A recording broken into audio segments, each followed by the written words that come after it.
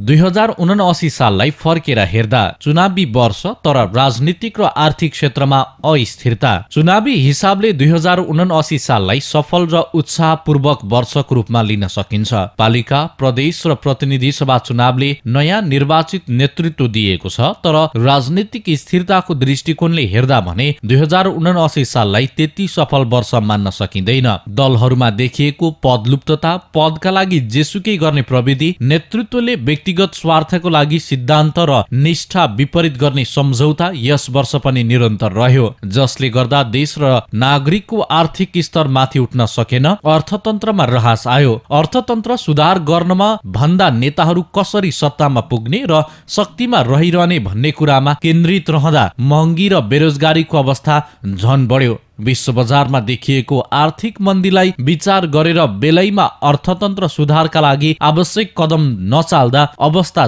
झनै दयनीय बन्न पुग्यो। बदलिएको समीकरण र राष्ट्रपति चुनाव। प्रतिनिधि सभाको चुनाव अन्तिम परिणाम आइसकेपछि पाँच दलीय गठबन्धन बन्दा माओवादीलाई पहिला प्रधानमन्त्री दिने सहमति कार्यान्वयन गर्न तत्कालीन प्रधानमन्त्री तथा कङ्ग्रेसका सभापति शेरबहादुर देउबाले अनिच्छा देखाएपछि माओवादीका अध्यक्ष पुष्पकमल दाहाल प्रचण्डले एमालेसँग गठबन्धन गरे। तत्कालीन राष्ट्रपति विद्यादेवी भण्डारीले प्रधानमन्त्रीको दावी पेश गर्न दिएको पुस दस गते बेलुकी पाँच बजे सम्मको समय सीमा भन्दा केही बेर अघि मात्रै एमालेसँग नाटकीय सहमति भएपछि पुस एघार गते प्रचण्ड प्रधानमन्त्री बने पुरानो गठबन्धन टुटे पनि त्यस बेला प्रधानमन्त्री बनेपछि पुस छब्बिस गते प्रचण्डलाई कङ्ग्रेसले समेत विश्वासको मत दिएको थियो। उनलाई दुई सय अडसठी सांसदको विश्वासको मत दिएका थिए। प्रधानमन्त्री प्रचण्डलाई दिएको विश्वासको मतको गुण माओवादीले सभामुखको चुनावमा तिर्छ कि भन्ने कङ्ग्रेसको भ्रम भ्रम मात्रै भयो। माघ पाँच गते भएको सभामुखको चुनावमा एमालेका देवराज घिमिरेले कङ्ग्रेसकी ईश्वरी नेउपानेलाई पराजित गर्दै सभामुखमा विजय भए। घिमिरेले एक सय सडसठी मत पाउँदा नेउपानेले एक सय मत प्राप्त गरे। त्यस्तै माघ सात गते भएको उपसभामुख पदमा राष्ट्रिय स्वतन्त्र पार्टी रासपाकी इन्दिरा राणा विजय भइन्। फागुन पच्चिस गते भएको राष्ट्रपति चुनावमा आइपुग्दा एमाले र माओवादी बीच पुस दस गते भएको गठबन्धन टुटिसकेको थियो भने कङ्ग्रेस माओवादी एकीकृत समाजवादी तथा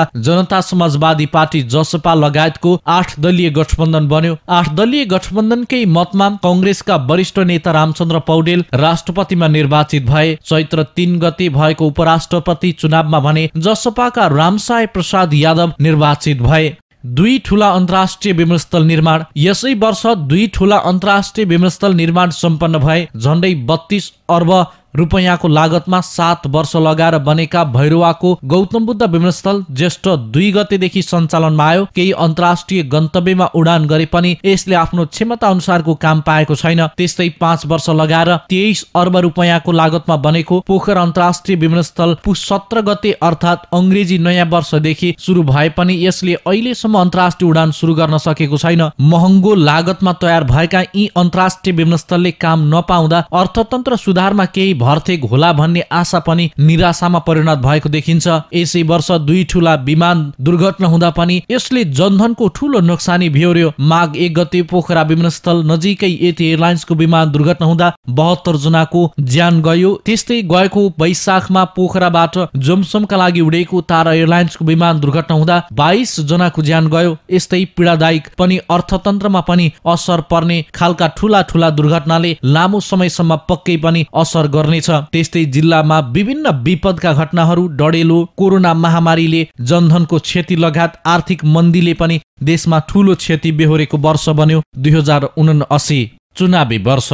वर्ष दुई हजार उनासीलाई चुनावी वर्षको रूपमा भन्दा फरक पर्दैन। यसै वर्ष तिनै तहका चुनाव सम्पन्न भए वैशाख तीस गते पालिका चुनाव तथा मङ्सिर चार गते प्रदेश सभा र प्रतिनिधि सभाको चुनाव सम्पन्न भयो। यसै वर्ष राष्ट्रपति उपराष्ट्रपति तथा सभामुख र उपसभामुखको समेत चुनाव सम्पन्न भयो। वैशाख तीस गते एकै चरणमा सात सय त्रिपन्न पालिकामा चुनाव सम्पन्न भएको थियो। पालिकामा महत्वपूर्ण मानिने छवटा महानगर मध्ये पाँच बाँसोटामा सत्तारूढ गठबन्धनले मेयर पदमा विजय हासिल गरेको थियो भने संघीय राजधानी रहेको काठमाडौँ महानगरमा भने स्वतन्त्र उम्मेद्वारले विजय हासिल गरे। ललितपुर र विराटनगर महानगरमा कङ्ग्रेसले मेयरमा विजय प्राप्त गरे भने पोखरामा एकीकृत समाजवादी वीरगन्जमा जसपा र भरतपुरमा माओवादीले मेयरमा विजय हासिल गर्यो। नेकपा एमाले भने कुनै पनि महानगरमा मेयर जित्न सकेन। मङ्सिर चार गते भएको प्रतिनिधि सभा तथा प्रदेश सभाको चुनावमा पनि पाँच दलीय गठबन्धनकै बहुमत कायम रह्यो। प्रतिनिधि सभामा प्रत्यक्ष तर्फ एक सय पैसठी तथा समानुपातिकमा एक सय दस गरी कुल दुई सय पचहत्तर सिट हुने व्यवस्था छ। जसमा सबैभन्दा ठूलो दल नेपाली कङ्ग्रेसले प्रत्यक्ष र समानुपातिकमा गरी कुल उननब्बे सिट र नेकपा एमाले उन सिट माओवादीले बत्तीस सिट राष्ट्रिय स्वतन्त्र पार्टीले बिस सिट राप्रपाले चौध सिट जसपाले बाह्र सिट नेकपा समाजवादीले दस सिट जनमत पार्टीले छ सिट लुसपाले चार नागरिक उन्मुक्तिले तीन सिट र राष्ट्रिय जनमोर्चाले एक सिटमा जित हासिल गर्यो। मत परिणामपछि सत्ता गठबन्धन र नेकपा एमाले एक्लैले पनि बहुमतका लागि आवश्यक पर्ने एक सय अडतिस सिट संख्या पुर्याउन सकेन।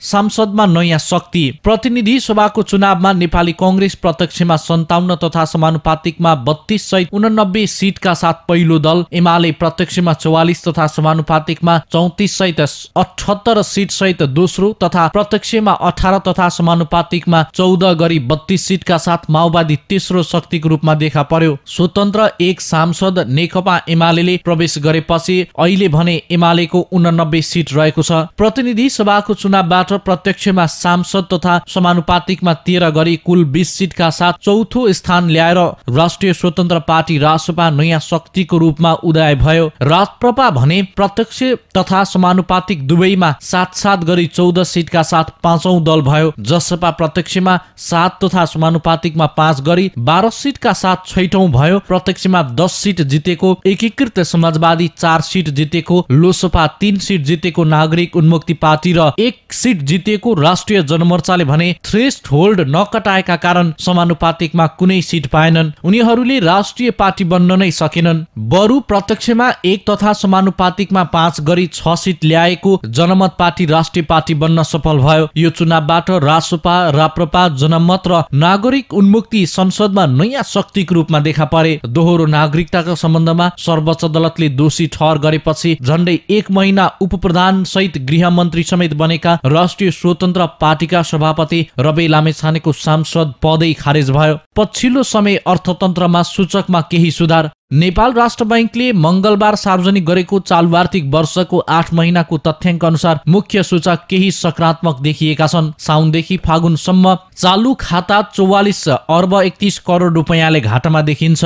अघिल्लो वर्षको आठ महिनामा चालु खाता चार खर्ब साठी अर्ब बहत्तर करोड रुपियाँले घाटामा रहेको थियो। त्यस्तै शोधानन्तर स्थिति एक खर्ब अडचालिस अर्ब एघार करोड रुपियाँले बचतमा रहेको छ। अघिल्लो वर्षको नौ महिनामा शोधानन्तर स्थिति दुई खर्ब अन्ठाउन्न अर्ब चौसठी करोड रुपियाँले घाटामा रहेको थियो। विदेशी विनिमय सञ्चितमा पनि सुधार आएको। छ गएको असार मसान्तमा बाह्र खर्ब पन्ध्र अर्ब अस्सी करोड रुपियाँ बराबर रहेको विदेशी विनिमय सञ्चित पन्ध्र दशमलव दुई प्रतिशतले बढेर फागुन मसान्तमा चौध खर्ब एक अर्ब एक्काइस करोड रुपियाँ पुगेको छ। अमेरिकी डलरमा यस्तो सञ्चित गएको असार मसान्तमा नौ अर्ब चौन्न करोड रकम रहेर फागुन मसान्तमा बाह्र दशमलव एक प्रतिशत प्रतिशतले वृद्धि भई दस अर्ब उनसत्तरी करोड कायम भएको छ। बैङ्किङ क्षेत्रसँग रहेको विदेशी विनिमय संचिति दस महिना नौ दिनको वस्तु आयात र नौ महिना चार दिनको वस्तु तथा सेवा आयात धान्न पर्याप्त रहेको देखिन्छ।